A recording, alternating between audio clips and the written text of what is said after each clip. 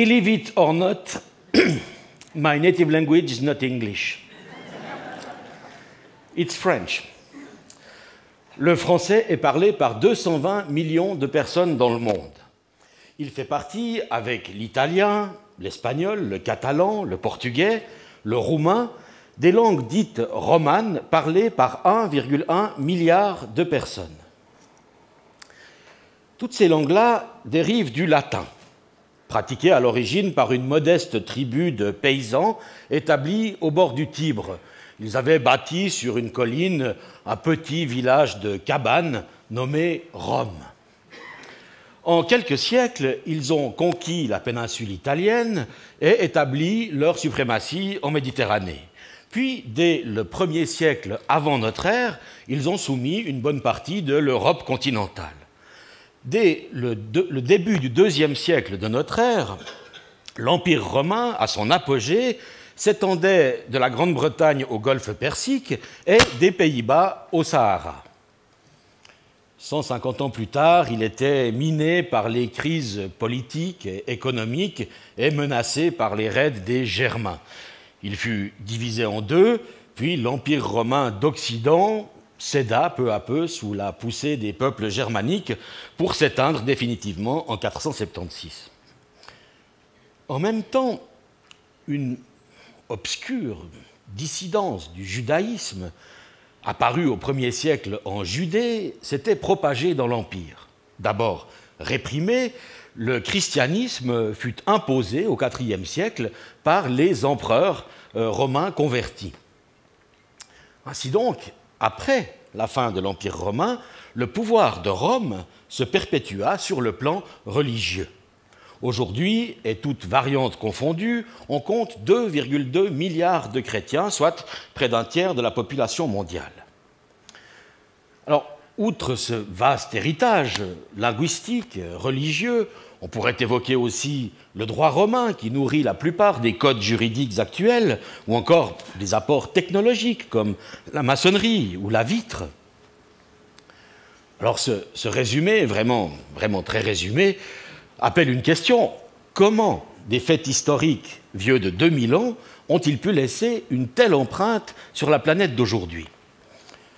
Bien sûr, l'actuel monde occidental a aussi été façonné ultérieurement par l'hégémonie et la colonisation européenne, mais il n'empêche que c'est d'abord l'Empire romain qui a transformé l'Europe en y greffant la civilisation européenne. Cette greffe s'est opérée par assimilation, par osmose. Les populations des territoires conquis se sont adaptées à la nouveauté sans résistance ni conflit. Ainsi, par exemple, dans les pays celtiques comme la Gaule ou l'Helvétie, la tradition locale et les apports romains se sont fécondés pour engendrer une civilisation originale dite gallo-romaine. Alors, passons rapidement en revue les facteurs de cette acculturation. D'abord au plan politique. Dans les territoires conquis, Rome maintient les entités ethniques antérieures sous la forme de cités avec leur capitale, avec leurs magistrats, le tout transposé dans le système romain. Ainsi, le peuple helvète devient la cité des Helvètes, la Civitas Helvetiorum. Et dans ce processus, l'aristocratie indigène est la première à se convertir, se romaniser, entrer dans le cursus politique de la cité est pour elle le meilleur moyen de préserver ses privilèges et de maintenir son ascendant sur la population. L'élite locale, l'élite locale joue ainsi un rôle pionnier dans l'assimilation collective du modèle romain. Par ailleurs, tout indigène libre dans l'Empire peut accéder à la citoyenneté romaine, être naturalisé romain les notables peuvent accéder à ce précieux statut euh, par faveur impériale ou euh, par le biais d'un cursus politique. Quant aux gens plus modestes, ils peuvent y parvenir en s'engageant dans l'armée et en accomplissant les 20 ans de service réglementaire, ce qui laisse largement le temps d'apprendre le latin et d'absorber la culture romaine. Par ailleurs, Rome euh, met en place une vaste politique d'urbanisation qui euh, parsèment les nouveaux territoires de petites Roms, euh, vitrines économiques, culturelles, architecturales, institutionnelles de la métropole. Avec ses monuments, ses spectacles, ses bains, une ville romaine devait faire aux campagnards helvètes à peu près le même effet que Dubaï ou Las Vegas un touriste suisse d'aujourd'hui. En diffusant la civilisation méditerranéenne dans ces provinces, Rome apporte aussi de nouvelles technologies, d'invention romaine ou non, qui transforment le quotidien. Alors, on a déjà évoqué la maçonnerie, la vitre, on pourrait citer aussi la brique, la tuile, les canalisations, le clou, la construction monumentale en pierre de taille, les machines de levage, les lampes à huile, euh, ou encore des artisanats nouveaux comme le soufflage du verre ou le travail du plomb.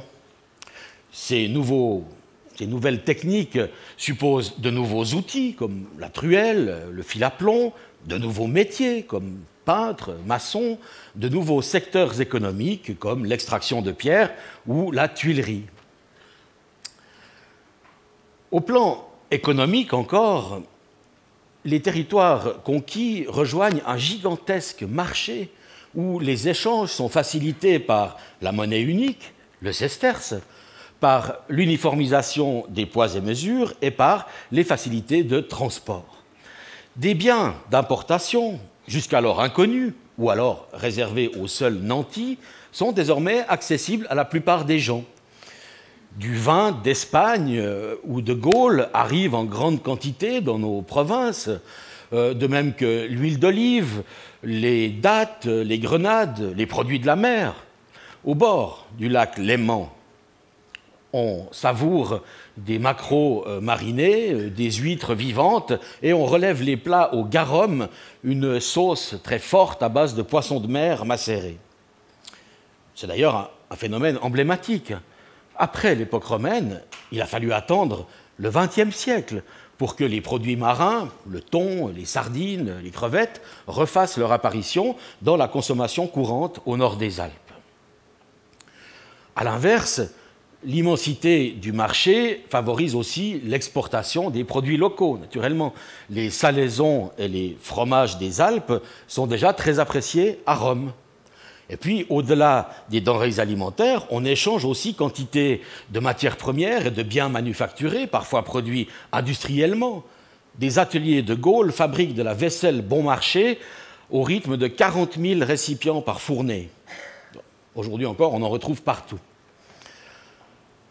Cette explosion des échanges commerciaux s'accompagne d'un essor spectaculaire des transports qui font la fortune des armateurs maritimes ou fluviaux, l'essentiel du transport de marchandises s'opérant par voie d'eau. Mais les grands axes routiers, les cols transalpins, font aussi la prospérité des territoires qu'ils traversent. Ajoutons que la production agricole et le paysage sont durablement transformés par l'introduction au nord des Alpes de nouvelles espèces végétales, le noyer, le châtaignier, le pêcher, le cerisier, le prunier, le figuier, la betterave rouge, le céleri, le fenouil, l'ail, la sarriette, la coriandre, l'aneth, sans, sans, oublier la culture du pommier et de la vigne, qui eux étaient déjà présents, mais à l'état sauvage. Rome introduit aussi dans nos régions l'âne, le pigeon et le chat d'origine égyptienne. Le chat est aujourd'hui le premier sujet photographique sur Facebook. C'est dire si c'est important tout de même. Mais c'est sans doute au plan culturel que l'Empire romain marque le plus profondément les populations indispensable pour exister socialement et pour communiquer avec les étrangers, la pratique du latin se répand largement, rapidement, avec pour corollaire l'alphabétisation et l'écriture. Le mode de vie évolue également avec l'architecture, les techniques, les produits nouveaux. Le vin supplante la bière, l'huile d'olive remplace la graisse animale pour la cuisson, les recettes en sauce à la romaine s'imposent, les goûts changent. on adopte le fameux garum, pourtant assez spécial, aussi facilement qu'on adoptera le ketchup 2000 ans plus tard. Les loisirs font aussi leur apparition dans le quotidien. Les bains, le fitness, euh, la lecture, les spectacles, les jeux de table avec l'introduction du dé à jouer d'origine mésopotamienne. Dans un autre registre, la médecine hippocratique apparaît également, héritée des Grecs. Elle améliore la qualité des soins et elle améliore sensiblement l'espérance de vie pendant cette période. Rome introduit aussi dans les pays celtiques la civilisation de l'image, avec des motifs parfois très exotiques. Chez des gens qui n'ont jamais quitté l'Helvétie, des dauphins, des lions, Pégase, Hercule ou Vénus ornent la vaisselle, les lampes à huile, les manches de clés, le mobilier, sans parler des fresques et des mosaïques. tout ça reflète de nouvelles références mentales, de nouvelles références culturelles. Aujourd'hui, le dauphin, toujours, euh, le cocotier, le cowboy peuplent l'imagerie familière, de même que Spider-Man ou Marilyn. Bon, si, comme on le voit, ces siècles de l'époque romaine sont marqués par des phénomènes étonnamment modernes, comme la globalisation économique, la grande consommation, la production presque industrielle, il ne s'agit pas, naturellement, d'idéaliser la civilisation romaine. Elle était impérialiste, manifestement, militariste, superstitieuse, son économie était fondée sur l'esclavage, elle raffolait des spectacles sanglants, elle n'avait aucun respect pour les animaux, et en matière de sexe, elle était assez bizarre et même euh, abominablement phallocrate. Et puis, selon les normes actuelles, même le plus doux et le plus sage des empereurs romains serait passible du tribunal pénal international. Il n'empêche que l'Empire romain a apporté aux populations d'alors quantité d'innovations positives et que, 2000 ans après, son héritage linguistique, religieux, juridique, technologique et culturel est toujours omniprésent. Si ces quelques siècles lointains ont changé à ce point la face du monde, c'est donc par un phénomène d'osmose culturelle. Les populations d'alors se sont adaptées à la nouveauté sans résistance, on l'a dit, et très naturellement. Et si elles l'ont fait, c'est pour deux raisons. Premièrement, c'était à leur avantage.